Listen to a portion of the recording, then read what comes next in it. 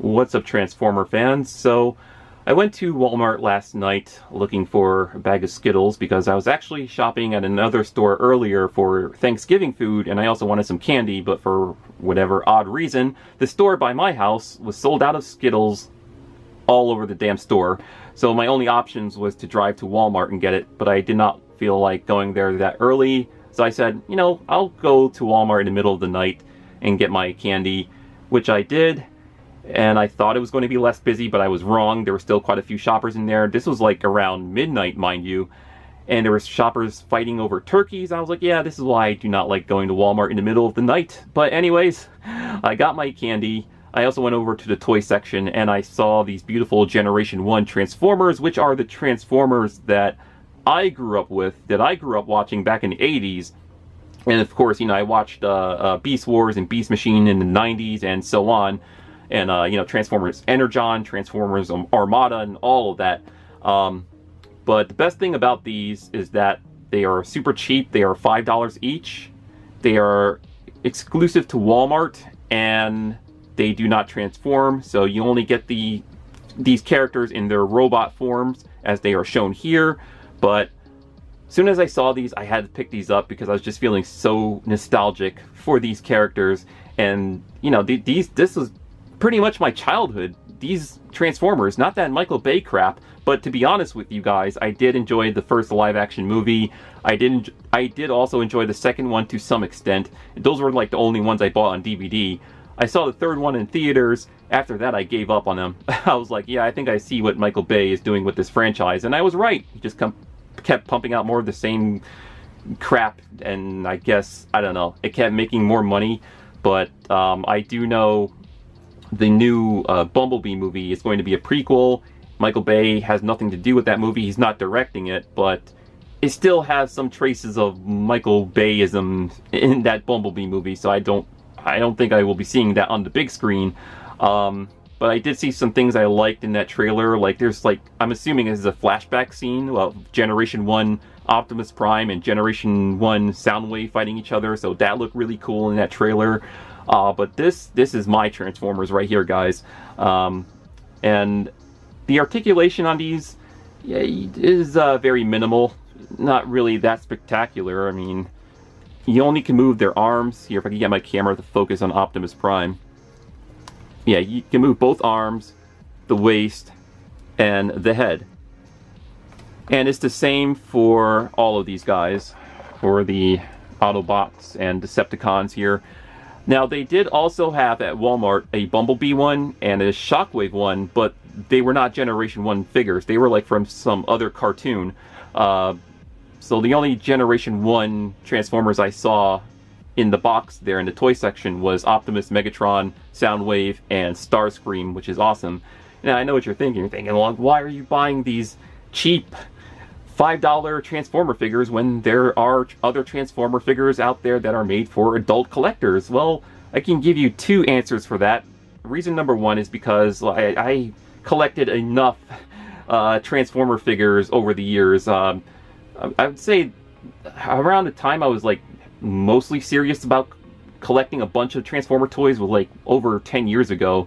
Um, and I think last year or two years ago, I, I collected little or small amounts of Transformers here and there, but nothing too serious. And uh, I know they do make stuff for adult collectors, like the Masterpiece Collection, and I have about two of them in my collection. I have Optimus Prime and Starscream, and if you want proof of that, here. I took them out here so you guys could see that I do indeed have the Masterpiece um, Optimus Prime right here. This one is special to me because this one I got, or this one I found at Toys R Us back when I, around the time I first got my driver's license. So, you know, I was just driving out to places on my own and I went to Toys R Us I was like, oh my god, the Generation 1 Optimus Prime, this is awesome. And I'm not sure if this still works. I guess we'll see. Hold on. There's a button right there on the Autobot symbol. Autobots, transform and roll out. I want you to make a special run to Autobot City. Yeah, it does still work. That's awesome. So, you got the touch. Dun, dun, dun, dun. You got the power. Yeah. All right. so, yeah. Back when I was serious about, you know, collecting a lot of Transformer figures, so uh, I will show you the Masterpiece Starscream one I found at Walmart, like, geez. I had to forgot how many years back I found this guy. I think around 11 or 12 years ago. I found this one at Walmart. Back when Walmart used to carry awesome stuff, I guess, in their toy section. Eh, they still do, but not as much as they did back in the day. So, there's your proof right there that, I, you know, I did collect some stuff that were uh, not only made for the kids, but made for adult collectors too. And uh, I never did show my my trans my box of uh, Transformers because I don't know, it is just too plenty and it's a pain to dig that box up. But yeah, um, I just felt like showing this video to you guys because Generation 1 Transformers, how awesome is that? And these are for the older fans who grew up watching, the, you know, the cartoon. So this is for like the middle-aged guys like me, or the middle-aged guys or girls, I should say, uh, for people like me who grew up on this stuff.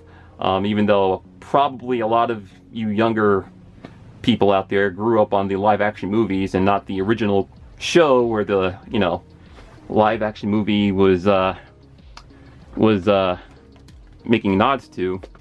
Get my camera to focus on Megatron there. So yeah, each one comes with this tag to show you that they are ex exclusive to Walmart they have the name of the character, and it shows that they are ages 5 and up from Hasbro. Alright, so there's back of Megatron there. There's the front, the OG, original, old school Megatron. Yeah. Alright. I'll show a close-up of Soundwave here. Alright. It would have been awesome if his, uh, this uh, cassette uh, cassette tape player door opens up and you could release Ravage or something. But these are not fully functional Transformer figures. These are just uh, figurines, I guess is the term. Or action figures that do not transform, pretty much. But they look awesome. I mean, how can you go wrong with these? They're five bucks each. That is awesome. Alright, so finally, let's get Starscream here. Uh, Alright, so get my camera to focus on Starscream here. That's what I love about these. These are so cartoon accurate. So anyways, yeah, that's that. So that's pretty much it for this video. And these are at Walmart. You can find these in the action figure section where they have, you know, the wrestling figures, the Power Rangers, Ninja Turtles, Ben 10, uh, Funko Pops, all that stuff. Just look by the uh, Transformer stuff. Look on the bottom shelf. They should have like a display box full of a uh, assortment of these Generation 1 figures mixed in with like a Bumblebee and a Shockwave that are from a different cartoon, I think, because they were definitely not Generation 1, so that's why I did not buy them. Uh, but yeah, if you are a, uh, longtime Generation 1 fan and you, if you are thinking about buying these, um, you know, for five bucks, you can't go wrong there. I mean, it's super, super cheap, and yeah, the articulation is very minimal, but uh, these were, you know, made for younger children in mind, I think. Uh, as far as the paint quality goes, I don't know how long the paint will last. I mean, not, it's not like I'm going to be playing with these. These are going to be mostly on display, so, you know, it's not like I'm going to be scratching up these figures or anything like that. Uh, so yeah, if you are a Generation 1 fan or just a Transformer fan of all of the Transformer incarnations, then check them out. And I will see you guys uh, next time. So I'll see you when I see you. Stay awesome. Autobots, roll out.